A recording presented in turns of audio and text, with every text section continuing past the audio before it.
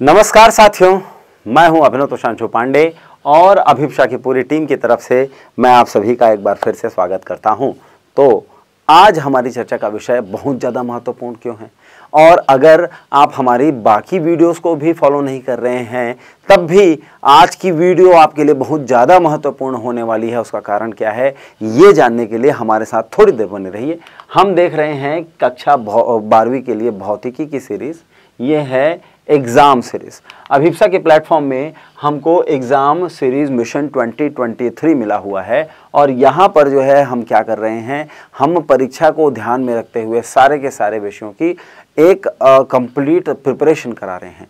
तो यहाँ पर हम आपको प्रीवियस ईयर क्वेश्चन यहाँ पर हम आपको शॉर्ट नोट्स माइंड मैप इन सारी चीज़ों के सहायता से जो है आपकी तैयारी को पूरा कराने में लगे हुए हैं। और इसी सिलसिले में आज हमारी बात एक ऐसे विषय पर होने वाली है जिसका महत्व न सिर्फ़ आपकी थ्योरी वाले एग्ज़ाम मतलब सत्तर अंकों का जो वो परीक्षा होने वाली है, ना सिर्फ़ वहाँ है, बल्कि आप जब परीक्षा मतलब प्रायोगिक परीक्षा देने जाएँगे प्रैक्टिकल्स एग्ज़ाम देने जाएँगे, तब भी ये विषय जो है आपके लिए महत्वपूर्ण रहने वाला है।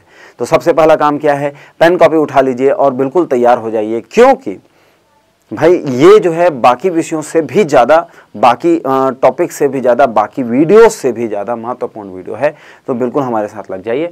और अगर अभी तक आप लोगों ने हमारा ये चैनल सब्सक्राइब नहीं किया है तो आप हमारे सब्सक्राइबर बन जाएँ, क्योंकि हम यहाँ पर आपको हर रोज़ पूरे सिलेबस के लिए पूरी पढ़ाई करा रहे हैं। इसके साथ साथ हमारे एप्लीकेशन को डाउनलोड करने से आपको वहाँ पर हमारे एक्स्ट्रा कंटेंट जैसे कि माइंड मैप जैसे कि शॉर्ट नोट्स और वन टू वन मेंटरशिप भी मिलती है। तो आइए देर किस बात की हमारे एप्लीकेशन को डाउनलोड कर लीजिए।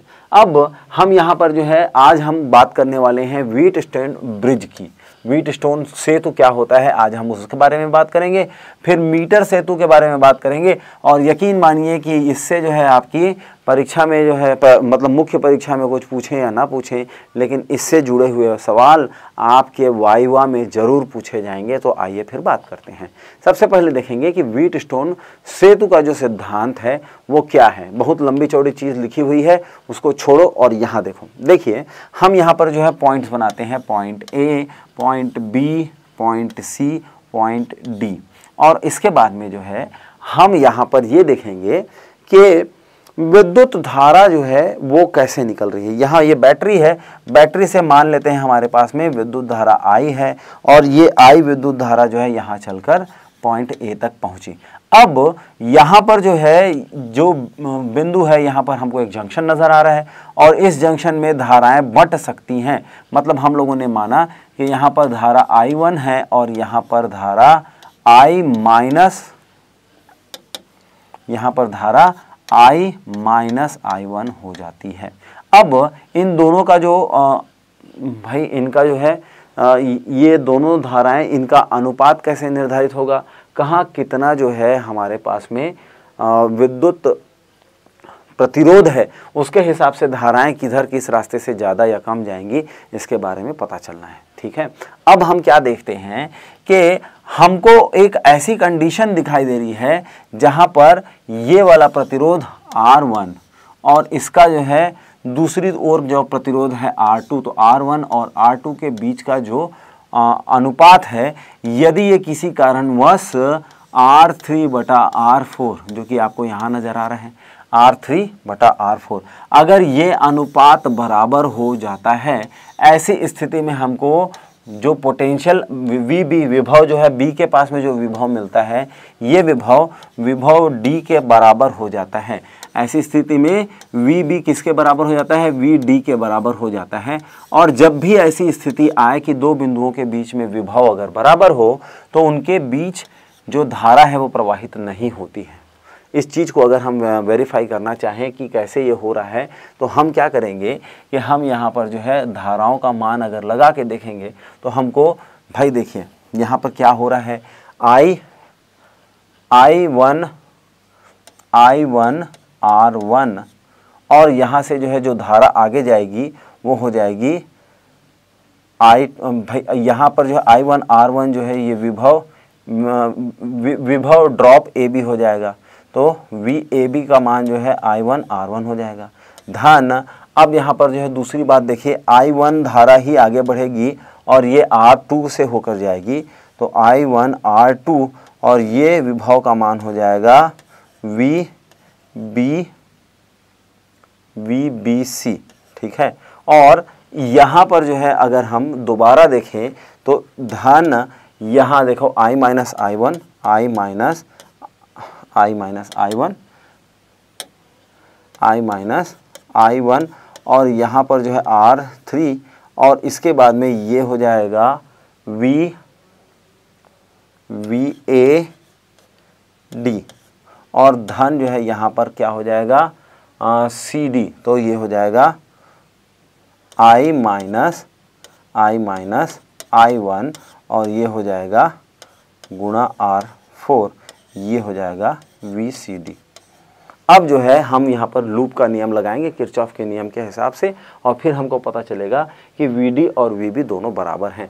डी और बी के बराबर हो जाने पर ये जो हमारा आर फाइव है, इसमें से कोई भी धारा प्रवाहित होती हुई नहीं दिखाई देगी। और जैसे ही ये स्थिति अचीव हो पाती है, जैसे ही इस स्थिति में हम पहुँचते हैं तो हम कहते हैं कि वीट स्टोन ब्रिज जो है, वो अब संतुलित हो गया है या बैलेंस्ड हो गया है।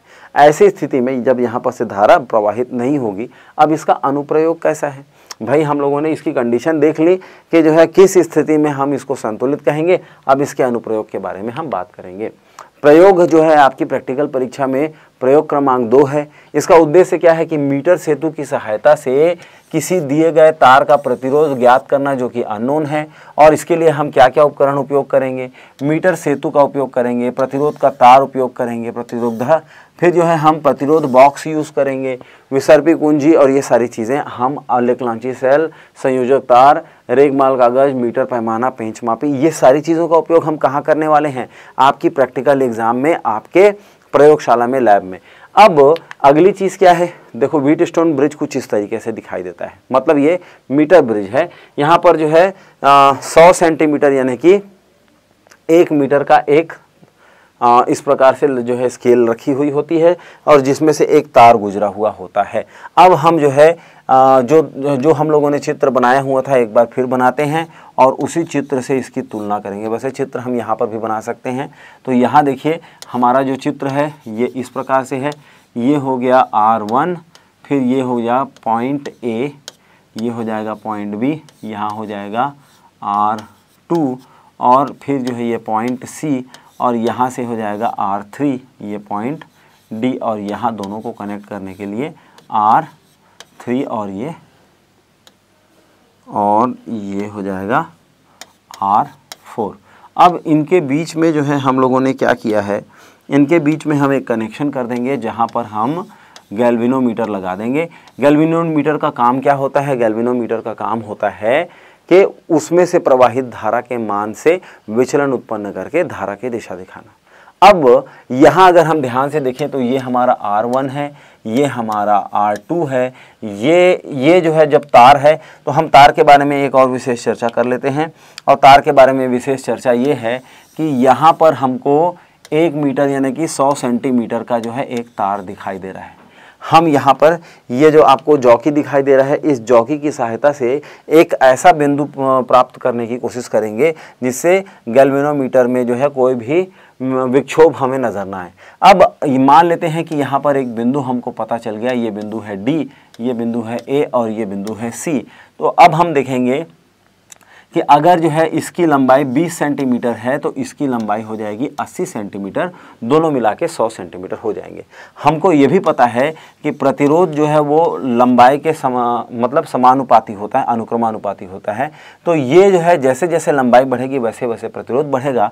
और यदि हम यहाँ पर मान लें कि इस तार का विशिष्ट प्रतिरोध रो है तो हम ये सीधे सीधे बोल सकते हैं। और इसका जो है आ, area of cross section A है तो ऐसी स्थिति में हम बोल सकते हैं आर वन आर वन मतलब आर थ्री बराबर आर थ्री बराबर एल वन रो ए और आर फोर बराबर आर फोर बराबर एल टू रो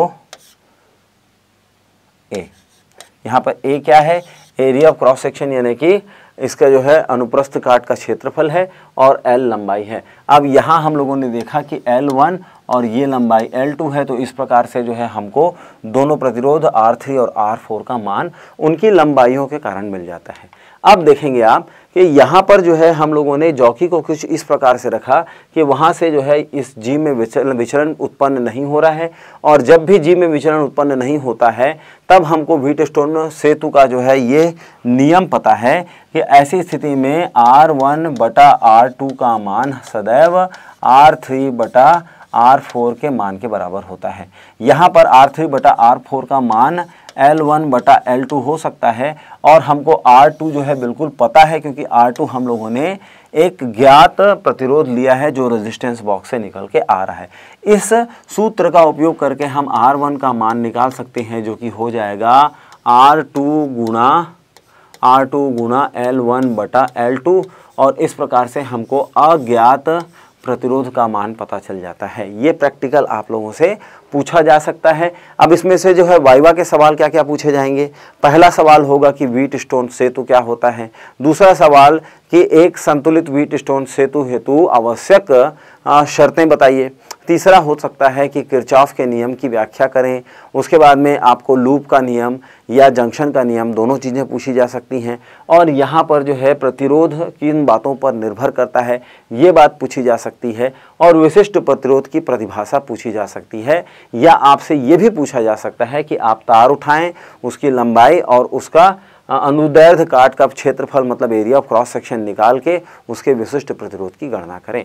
इस प्रकार से जो है हम अब जो है ये देखते हैं कि भाई कौन कौन सी चीज़ को क्या बोलते हैं, क्योंकि कई बार जो है हमारे जो एक्सटर्नल्स आते हैं, वो आपको ये बोलते हैं कि जाइए और आप एक गैल्विनोमीटर उठा के लाइए, जाइए आप जॉकी उठा के लाइए, जाइए आप रजिस्टेंस उठा रजिस्टेंस बॉक्स उठा के लाइए। रजिस्टेंस बॉक्स कुछ ऐसा दिखता है जिसमें बहुत सारे बटन होते हैं और यहाँ पर से जो है ये दोनों हिस्से हैं जिस पर हम तार जोड़ते हैं। ये गैल्विनोमीटर है जो कि विद्युत धारा में, विद्युत धारा के कारण उत्पन्न विचलन से उसकी दिशा दिखाने का काम करता है और ये जॉकी है जिसे हम उपयोग करते हैं ताकि हम मीटर सेतु के 100 मीटर लंबे तार में से L1 और L2 निकाल सकें। ठीक है?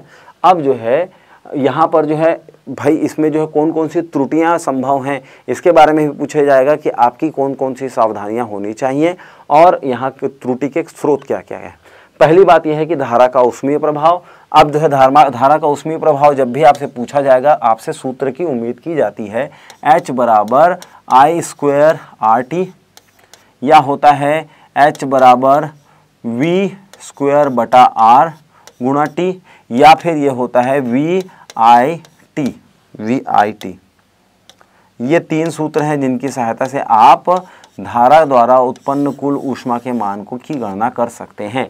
तो अब जो है हम क्या देखते हैं कि यदि हम लोगों ने इस जॉकी को उस लंबे वायर पर, जो तार पर जिसकी तुल, जिसकी सहायता से हम मीटर ब्रिज में संतुलन की स्थिति पाने की कोशिश कर रहे हैं, उस पर ज़्यादा देर तक टिका के रखेंगे तो विद्युत धारा का ज़्यादा देर तक प्रवाह होगा और ऐसी स्थिति में धारा के ऊष्मीय प्रभाव के कारण उसके प्रतिरोध में अंतर आ सकता है, जो कि हमारे लिए सही नहीं है। दूसरी बात क्या है कि चालक की अनियमितता हम लोगों ने क्या देखा है? हम लोगों ने देखा है कि प्रतिरोध आर जो है किन बातों पर निर्भर करता है।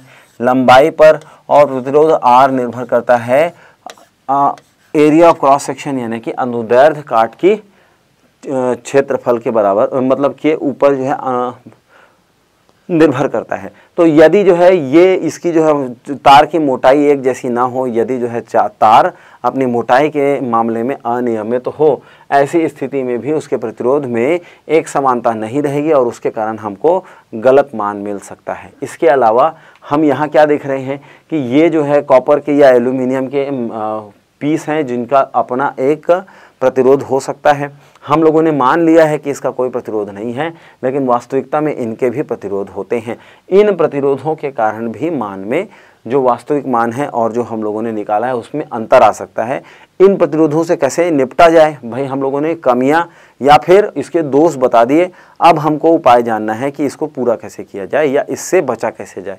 पहली बात यह है कि यहाँ लगने वाले तार को हम एक नियमित मोटाई वाला तार यानी कि सही क्वालिटी का तार लेंगे। उससे जो है ये प्र, मतलब प्रॉब्लम हट जाएगी। दूसरा जब जॉकी को हम जो है एक संतुलन बिंदु को पाने के लिए जॉकी को जो है तार पर टच कराते हैं। ऐसी स्थिति में हम कोशिश करें कि हम जॉकी को तार से ज़्यादा देर तक ना लगा कर रखें, ताकि उसमें प्रभाव वाले दोष से भी बचा जा सके। अब अगली बात क्या है कि यदि इनके अपने प्रतिरोधों के कारण जो है यहाँ पर कोई असर पड़ता है तो हम एक बार क्या करेंगे? रजिस्टेंस बॉक्स यहाँ कनेक्ट कर देंगे और अननोन रजिस्टेंस यहाँ कनेक्ट कर देंगे। उससे जो है हमको दोबारा जो है वेरीफाई करते बन जाएगा कि उन प्रतिरोधों के प्रभाव को किनारे करते हुए हमें सही रिज़ल्ट की प्राप्ति हो सकती है। तो इस प्रकार से हम लोगों ने आज प्रायोगिक परीक्षा यानी कि प्रैक्टिकल एग्ज़ाम में आने वाले बहुत महत्वपूर्ण बातों को सीखा है। हम इसी तरीके से बहुत महत्वपूर्ण चीज़ें लेकर आ रहे हैं आपके पास में। गूगल प्ले स्टोर में हमको आ, हमारा अपना एप्लीकेशन जो कि अभिप्सा के नाम से आपको मिल जाएगा। आप लोगों याद रखें इसको खोजेंगे। तो यहाँ पर आपको विशेष बातें क्या है? यहाँ पर आपको माइंड मैप मिलता है जिससे एक ही नज़र में आप पूरे के पूरे चैप्टर को रिवाइज कर सकते हैं। यहाँ पर हमारे द्वारा तैयार किए हो गए हुए शॉर्ट नोट्स हैं, जिनकी सहायता से जो है आपकी तैयारी को बल मिलेगा। और इसके अलावा परीक्षा के बाद में यदि करियर काउंसलिंग में आपको जो है कोई मदद चाहिए, अगर आपको सही कॉलेज खोजने में कोई तकलीफ़ हो रही है, या फिर ये डिसाइड करने में कि आपकी तैयारी के बाद में आपकी स्थिति आपको सबसे अच्छा रिटर्न कहाँ दे सकती है, या फिर आप हमसे बात करके, हमसे जुड़ करके अपनी बाकी समस्याओं का समाधान करना चाहते हैं तो उसके लिए भी एप्लीकेशन आपके लिए बहुत अच्छा उपाय हो सकता है। तो आपका काम क्या है कि आप एप्लीकेशन आज ही डाउनलोड करें और ये चैनल अगर मतलब ये वीडियो अगर आप यूट्यूब पर देख रहे हैं तो आप जल्दी से जल्दी इस चैनल को सब्सक्राइब कर लें। तो मिलते हैं अगले वीडियो में और तब तक के लिए धन्यवाद।